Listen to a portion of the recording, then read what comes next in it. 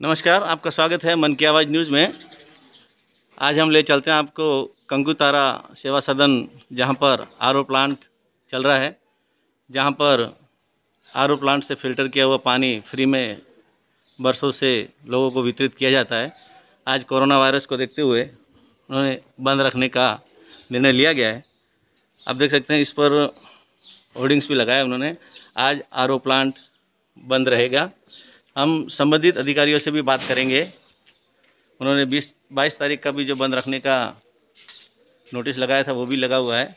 और आज हम इससे आगे उन कंकुतारा से संबंधित अधिकारियों से भी बात करेंगे और फिर आपको पूरी जानकारी देंगे। इसमें आर प्लांट, कंकुतारा सेवा सदन के मैनेजर हैं मिलन कुमार। मिलन भाई, बताएँगे ये कितने दिन तक बंद रहेगा और जो आपने पर्ची लगाई वो आज लिखा उस पर कहीं किसी तरह से मेंशन नहीं किया कितनी तारीख या कहाँ कितने तो ये बताएँगे? नोटिस लगा है आज प्लांट बंद रहेगा। हाँ। अगर हमें कल भी बंद जैसा रखने का विचार होता है हम्म, प्रशासन की तरफ़ से या जिस कंडीशन के हिसाब से हाँ। तो ये मैसेज कल के लिए भी कंटिन्यू रह सकता मतलब ये कंटिन्यू फॉरवर्ड होते रहेगा ताकि इसने इसलिए आपने उसके ऊपर डेट मेंशन नहीं नहीं की। है कि ये जो आदेश है ये आपके जो संचालक मंडल है उनकी तरफ़ से है या प्रशासन की तरफ़ से? संचालक प्रेसिडेंट साहब की तरफ़ से। हाँ। आपके अध्यक्ष के द्वारा? अध्यक्ष के द्वारा। हाँ। गाँव की सुरक्षा हेतु जन पब्लिक के लिए ये बंद रखा गया है। ठीक। धन्यवाद।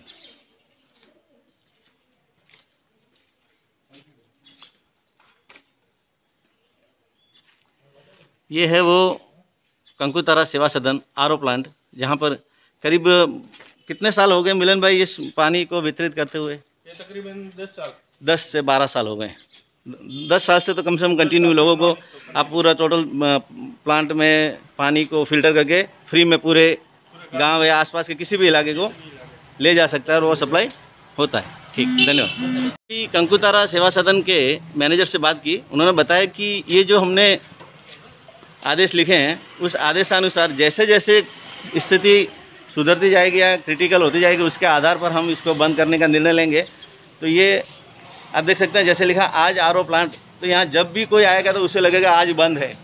तो जिस तरह से स्थिति होते रहेगी, उस तरह से ये आगे बढ़ाते रहेंगे। इस वजह से इसके ऊपर किसी तरह की तारीख नहीं दी गई है।